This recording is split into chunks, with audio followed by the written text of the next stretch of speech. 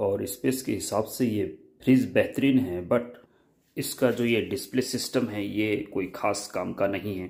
तो मेरे एक्सपीरियंस के अनुसार इसको ऑटो पे ही रखें तो बेहतर होगा। जैसे कि मैंने